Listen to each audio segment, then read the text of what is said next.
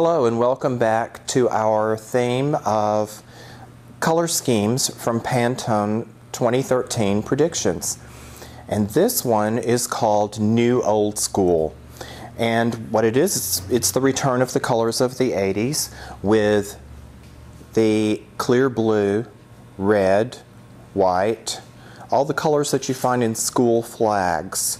So take those colors and my interpretation of it today is a little more of a men's club look.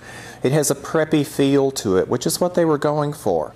So let's take a look at what we've got today. We're starting, of course, with the rug in a very traditional pattern, um, the paisley design with the red background, and then we have, of course, the dark heavy wood tray, um, I love these chargers and the aged look that they have with the gold leafing and the antiquing.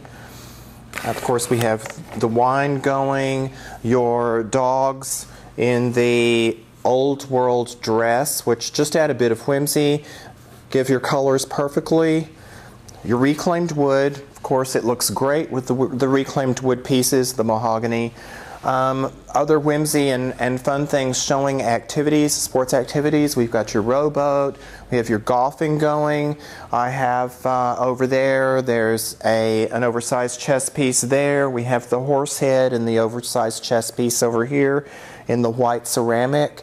Keep your pop of white sparing because otherwise it's going to look really harsh with your piece. It will make it a little more contemporary, the more white that you use with this color scheme, but if you're going for more of a traditional preppy feel, you need to keep it to a minimum. Use lots of textures like your embroidered pillows, um, your throws with the wools. I'm using mostly greens today, not as many florals in with this color scheme and this feel, but I do use a lot of greenage. Um, and as we move over here, where you can focus a little more on the mantle area. Don't be afraid to bring in your outdoor figurines. Both of these are concrete figures that are designed for outside, but of course the Dachshund sitting gives you a homey feel. It's one of the easiest pets you'll ever have. You can hose him off whenever you want. And then we have the concrete owl, which gives you a bit of Hogwarts for those Harry Potter fans.